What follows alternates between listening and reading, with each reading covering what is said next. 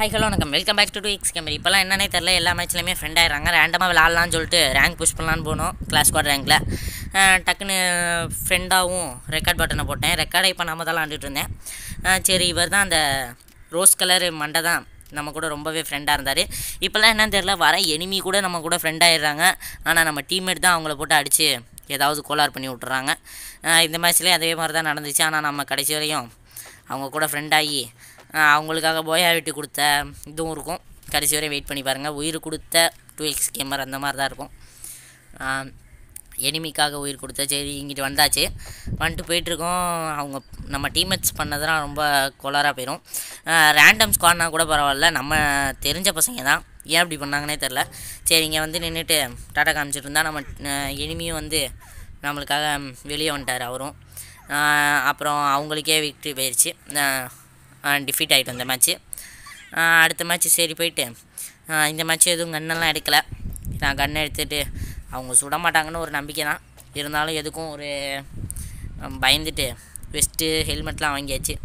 சரி நம்ம போயிட்டுருக்கோம் ஆளே காணோம். என்னடா வரவே இல்லை. அடிச்சு விடுவாங்களோ அப்படின்னு யோசிச்சுட்டு இருந்தேன். அப்புறம் போனால் டக்குன்னு வந்துட்டார் ஒருத்தர். சரி இந்த மேட்ச்சில் வந்துட்டார் அப்படின்னு சொல்லிட்டு அவரும் த்ரோனை மூட்டை போட நாமளும் த்ரோனை மூட்டை போட ஜாலியாக போயிட்டு இருந்துச்சு. இந்த ரோஸ் கலர் மட்டும் தான். நம்ம டீம்மேட் அடிக்கலையும் நம்மளை நம்பினார். இந்த எஸ்கே கெவின் இவர் தான் தேவையில்லாமல் நம்ம எனிமையெல்லாம் போட்டு அடிச்சு விட்டாரு. கோளாறே ஆயிடுச்சு. பாருங்கள் என்ன நடந்துச்சுன்னு. சரிங்க ரோஸ்லாம் கொடுத்து எமௌண்ட்லாம் போட்டுட்ருக்கோம் சரி இந்த எஃப்ஜிஎஸ் மாசே அவருக்கு ரோஸ் கொடுத்துட்ருக்கோம் கேர்ள் இதை வச்சுருக்காங்களே அப்படின்னு சொல்லிட்டு வெளியே போயிட்டு நம்ம எலிமினேட் ஆகலான்னு போனால் யாருமே நம்மளை கண்டுக்கலை. சரி உங்கள் தலை மேலே ஏறி த்ரோனை முட்டை போடுவோம் அப்படின்னு சொல்லி த்ரோனை முட்டை போட்டுட்ருக்கோம். கீழே வேறு அடிச்சிட்டாங்க யாரையோ நம்ம டீமெட்டை அப்புறம் நானும் உட்காந்து உட்காந்து எந்திரிக்க ஆரம்பிச்சிட்டேன். இல்லைனா அடிச்சு கிடிச்சு போட்டாங்கன்னா அப்படின்னு சொல்லி உட்காந்து உட்காந்து எந்திரிக்க ஆரம்பிச்சிட்டேன். சரி ஜோன் வேறு வருது. அப்புறம் மெட்கிட் கொடுத்தாங்க. மெட்கிட் நம்ம டீமெட்டு போடவும் அதை எடுத்துட்டேன். அங்கே வேறு யாரோ ஒருத்தர் போட்டார். அங்கே போய் எடுக்கிறதுக்குள்ளே வேறு யாரோ எடுத்துட்டாங்க. சரி எலிமினேட் ஆகலான்னு போனேன். சரி மெட்கிட்டை ஏன் வச்சுக்கிட்டு எலிமினேட் ஆகணும்? அவங்களுக்காவது கொடுத்துட்டு போவோம் அப்படின்னு சொல்லிட்டு மெட்கிட்ட உள்ளே வந்து கொடுத்துட்டு வெளில போய் எலிமினேட் ஆகலான்னு போனேன். த்ரோனை மூட்டை சாவ போகிற நேரத்தில் த்ரோனை மூட்டை எதுக்குப்பா அப்படின்னு சொல்லி த்ரோனை மூட்டை போட்டுட்ருக்கேன் விக்ட்ரி வந்துருச்சு. என்னடா அது? அப்படின்னு யோசிச்சுட்ருக்கேன் அப்புறம் பார்த்தா யாரும் அடிச்சிருக்க மாட்டாங்கன்னு ஒரு நம்பிக்கை. அதனால் க்ளோவாலெல்லாம் எடுத்துக்கிட்டேன். சும்மா க்ளோவால் தேவைப்படுமே அப்படின்னு சொல்லிட்டு. இங்கே வேறு நம்ம டீம்மேட்ஸ் வேறு கன்னை கீழே போட்டாங்க. அது வேறு எடுத்துக்கிட்டேன். அங்கேயே போட்டால் அவங்க எடுத்துக்குவாங்கன்னு சொல்லி ஓரமாக வந்து போட்டுட்டேன். ஓடிட்டுருக்கோம் இப்போ பார்த்தா பிஸ்டல் வேறு கையில் இருக்குது அதையும் தூக்கி போடாது இங்கே பாருங்களேன். ஃபன் மேட்ச் ஆட்டமே ஆயிரும். இங்கே கீழே விழுந்து பாம்பாட்டங்க போயிட்டுருக்கோம் எல்லாம். ஆனால் நான் மூணு பேர் தான் வந்தாங்க. மூணு பேர் தான் வந்திருக்கோம். எல்லாருமே வந்திருந்தா இதை ஃபன் மேட்சாகவே நினச்சிருப்பீங்க. அங்கே வேறு ரெண்டு பேர் கொஞ்சம் குழாவிட்டுருக்காங்க சரி நம்ம அங்கே போவோம் அப்படின்னு சொல்லி பொறுமையாக போவோம்னு சொல்லி போயிட்டுருக்கோம். ஆனால் அதுக்குள்ளே க்ளோவால்லாம் போட்டுக்கிட்டாங்கப்பா. சரி நம்ம வேகமாக எந்திரிச்சு ஓடுவோம் அப்படின்னு சொல்லி எந்திரிச்சு ஓடிட்டுருக்கோம். எந்திரிச்சு ஓடி போனால் நம்மளும் நம்ம கடமைக்கு ஏதாவது செய்யணும்ல அப்படின்னு சொல்லி உள்ளே போய் நம்ம க்ளோவால் போட்டு விட்டாச்சு. உள்ளே வந்து இவங்களை அடைச்சி விட்டுட்டு ரோஸ் கொடுப்போம் அப்படின்னு சொல்லி ரோஸ் கொடுத்தா அவங்களே சிரிக்கிறாங்க.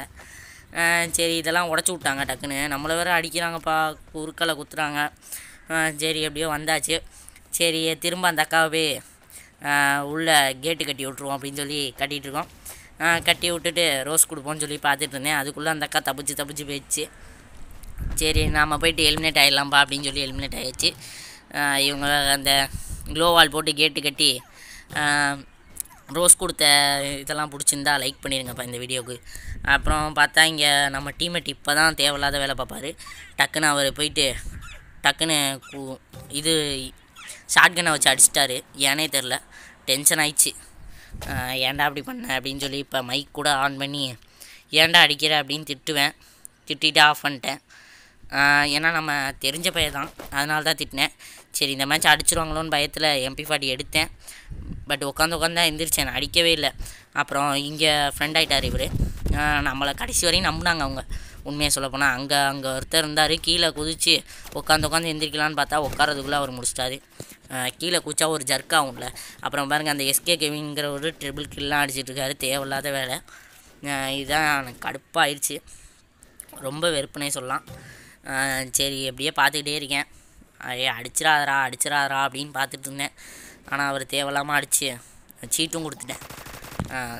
இப்படிலாம் பண்ணக்கூடாதுங்க. ஃப்ரெண்ட் ஆகிட்டு நம்ம எனக்கு சரியான கோவம் ஏன்னா என் கூட அவ்வளோவா யாரும் ஃப்ரெண்ட் ஆனதில்லை இப்போ தான் ஒரு நாலஞ்சு மேட்சாக என்னன்னு தெரில இப்போ தான் அதிகமாக ஃப்ரெண்ட் ஆகுறாங்க. ஏனும் தெரில அந்த மாதிரி பண்ணையில் இந்த மாதிரி அடித்தா கோவம் வரும்ல? அதான் கோவம் வந்துடுச்சு.